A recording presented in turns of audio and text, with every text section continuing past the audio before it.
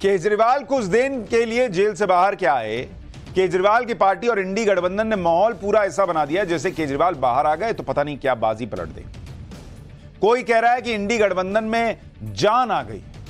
तो इसका मतलब मान रहे हो, अभी तक जान नहीं थी। कोई कह रहा है कि अब तो चुनाव ही पलट जाएगा। तो मान रहे हो कि अभी तक नहीं पलटा हुआ था? वो जो नैरेटिव बेचा जा रहा था कि मोदी तो गए हो इसका मतलब वो स्थिति नहीं थी, क्योंकि अभी आप कह रहे हो कि अब अब केजरीवाल आ गए तो अब पलटेगा। तो इसका मतलब अभी तक तो नहीं पलटा था ना? कोई नरेंद्र मोदी को कोस रहा है, कोई कह रहा है कि तानाशाही का काल केजरीवाल। लेकिन केजरीवाल के नाम पर जो लोग माहौल बना रहे हैं, वो शायद ये चाहते हैं कि आप भूल जाएँ कि केजरीवाल आज भी वही केजरीवाल हैं जिन्हें शराब घोटाले के मामले में ईडी मास्टरमाइंड और किंगपिन बता चुकी है। निचली अदालत और हाईकोर्ट उनकी गिरफ्तारी को सही बता चुकी है। और सुप्रीम कोर्ट में अभी उनकी गिरफ्तारी सही थी या नहीं, इस पर फैसला आया नहीं है। यानी अब भी केजरीवाल का स्टेटस वही है कि शराब घोटाले में उन पर गंभीर आरोप हैं, जिसकी वजह से वो 50 दिन जेल में काट कर आए। यानी माहौल बनाने वाले चाहते हैं कि आप ये सारे फैक्ट्स भूल जाएँ और सिर्फ़ उनके नैरेटिव पर विश्वास करें। केजरीवाल के लोग और आम आदमी पार्टी के नेता केजरीवाल की रिहाई पर बातें ऐसी ऐसी कर रहे हैं, जैसे केजरीवाल को मिली इत्तू सी बेल से कोई बहुत बड़ी क्रांति हो गई है। आम आदमी पार्टी के नेता क्या कह रहे हैं भाई? सुनिए जरा। कह रहे हैं, सत्य परेशान हो सकता है पराजित नहीं। ऐसा लग रहा है, मैंने कहा ना, ऐसा लग रहा है जैसे केस ही खत्म हो गया इन पे से। लोकतंत्र बचाने सुप्रीम कोर्ट सामने आया। लोकतंत्र बचाने। अभी वो बताएगा सुप्रीम कोर्ट की भैया गिरफ्तारी सही थी या नहीं, और इन पर जो आरोप लगे उनका क्या। तानाशाही के खिलाफ उम्मीद की किरण है केजरीवाल। अब देश केजरीवाल का कमाल देखेगा। यानी एक तरह से फिर यह माहौल बना दिया गया कि राहुल गांधी, ममता बनर्जी, लेफ़्ट, वगैरह वगैरह सारी पार्टियाँ सब ठंडा मामला था। अब यहाँ से चुनाव शुरू हुआ क्योंकि केजरीवाल आ गए। यानी आम आदमी पार्टी ऐसा माहौल बना रही है जैसे केजरीवाल को सुप्रीम कोर्ट ने मानो निर्दोष करार दिया। आम आदमी पार्टी को सुनिए। फिर बताता हूँ कि केजरीवाल को मिली राहत पर क्या चुनाव का माहौल बदलेगा या नहीं बदलेगा।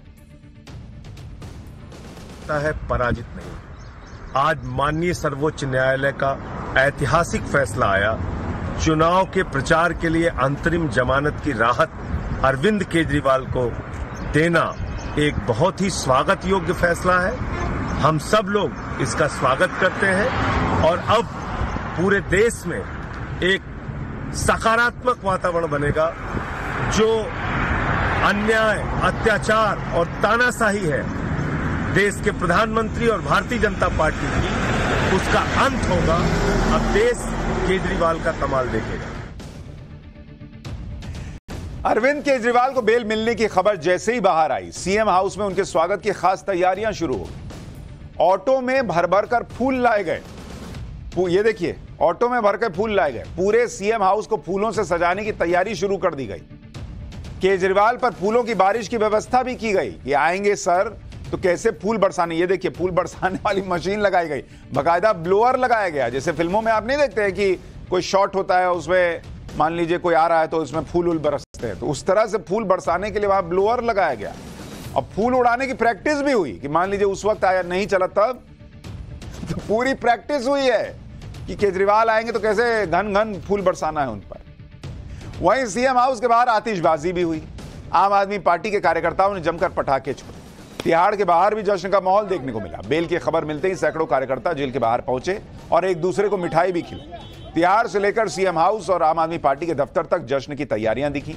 और जब केजरीवाल सीएम आवास पहुँचे तो संजय सिंह ने माला पहनाकर केजरीवाल का स्वागत किया। और संजय सिंह तो इतने जोश में थे कि केजरीवाल को गोद में ही उठा लिया।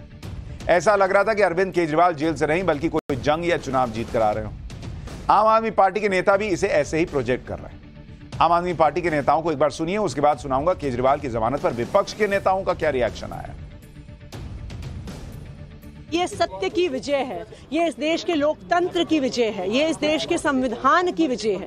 भारतीय जनता पार्टी ने इस देश में तानाशाही खड़ी करने के लिए कोई कसर नहीं छोड़ी है। जिस प्रकार से विपक्ष पे हमला हो रहा है, जिस तरह से ईडी ईडी और सीबीआई का प्रयोग हो रहा है, जिस तरह से चुनाव की घोषणा के बाद एक चुने हुए मुख्यमंत्री को जेल में डाल दिया गया लेकिन मैं सुप्रीम कोर्ट का धन्यवाद करती हूँ कि सुप्रीम कोर्ट सामने आया लोकतंत्र को बचाने के लिए, संविधान को बचाने के लिए। और जब जब इस देश में लोकतंत्र और संविधान खतरे में रहा है, सुप्रीम कोर्ट सामने आया है। पूरे देश में इसको लेकर के खुशी की लहर है। दिल्ली के लोगों के दिल में खुशी है।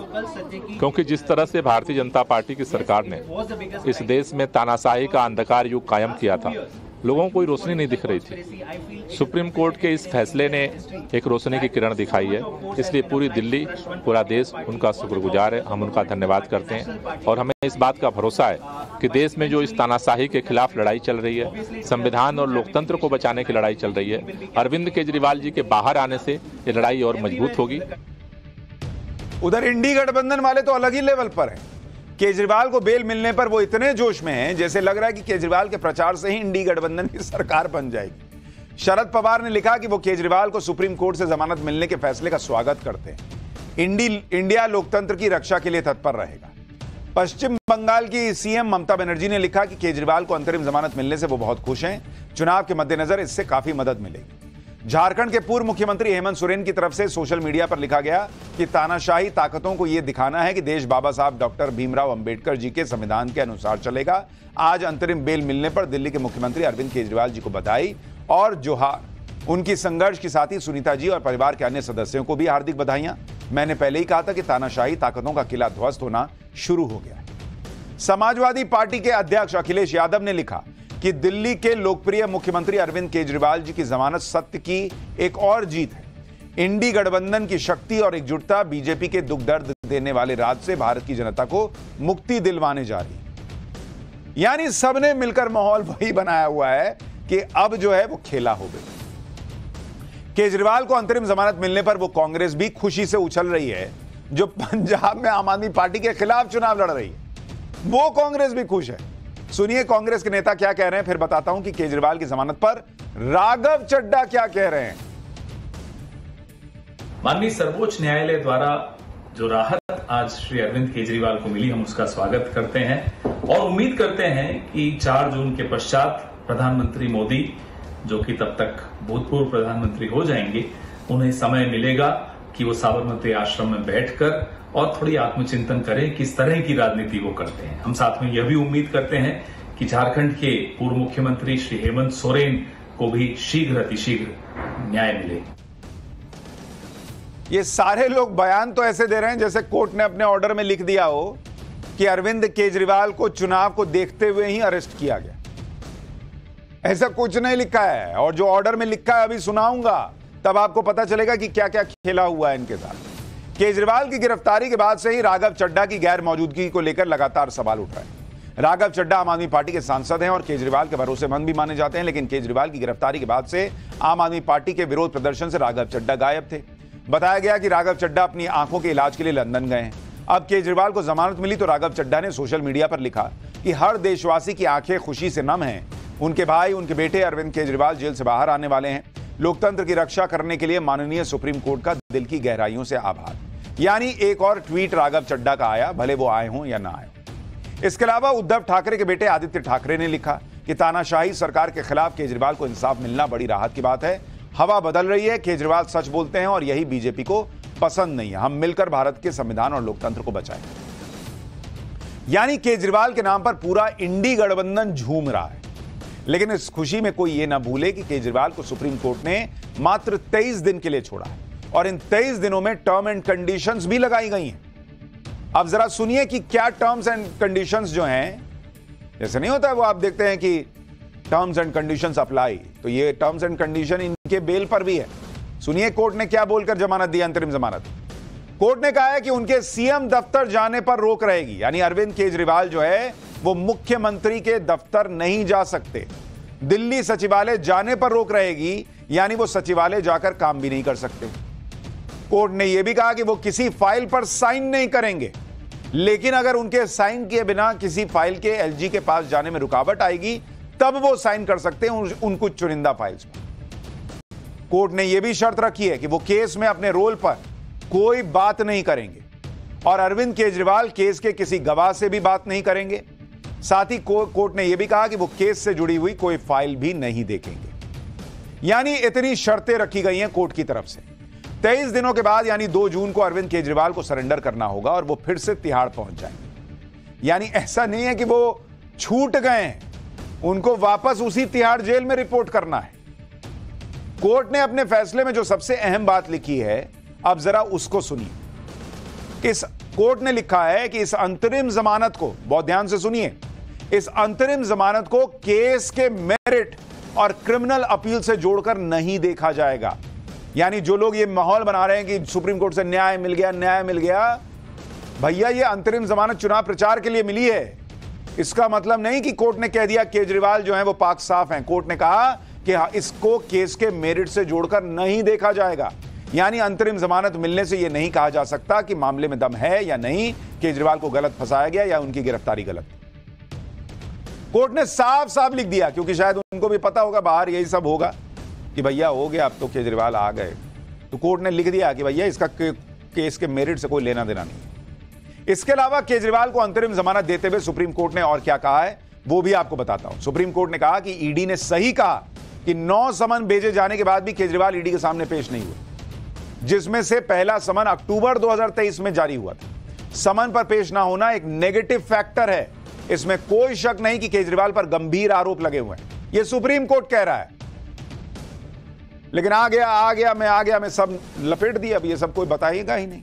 कोर्ट ने कहा कि इस समय बहस पूरी करना और फैसला सुनाना संभव नहीं है। देश में इस समय लोकसभा चुनाव चल रहा है और याचिकाकर्ता को निचली अदालत से जमानत लेने के लिए कहना सही नहीं होगा। केजरीवाल जेल से बाहर आकर प्रचार करेंगे तो इंडी गठबंधन की दो खाली कुर्सियों में एक कुर्सी भर भी जाएगी। अब तक इंडी गठबंधन जहाँ जहाँ ज्वाइंट रैली करता था वहाँ दो खाली कुर्सी रख देता था अरविंद केजरीवाल और हेमंत सोरेन की। अब इस पर केजरीवाल बैठ जाएँगे। हेमंत सोरेन भी लगता है जल्दी बैठ जाएँगे, क्यों कह रहा हूँ, आगे बताऊँगा। इन खाली कुर्सियों को दिखाकर केजरीवाल की पत्नी और हेमंत सोरेन की पत्नी दोनों रैलियों में जाती थी।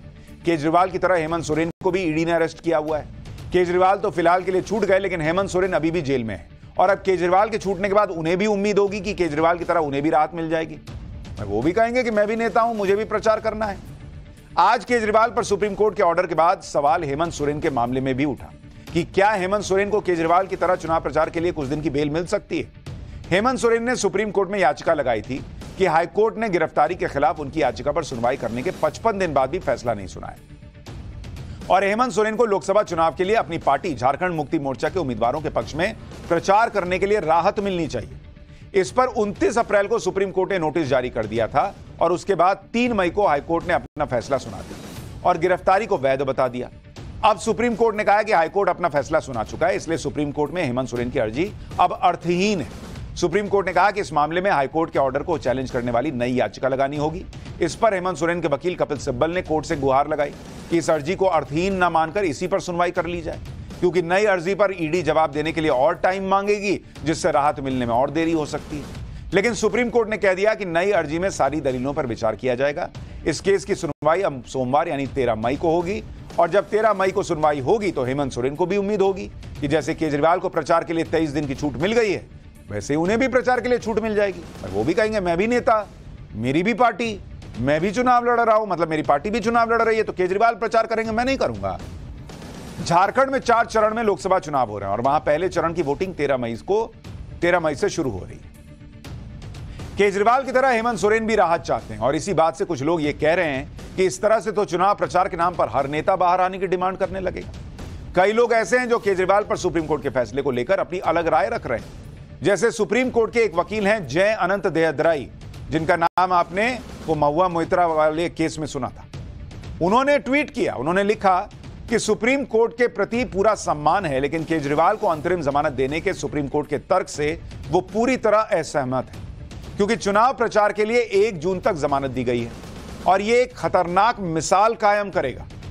वो कह रहे हैं कि अब कोई भी विचाराधीन कैदी चुनाव के लिए अंतरिम जमानत का दावा करेगा।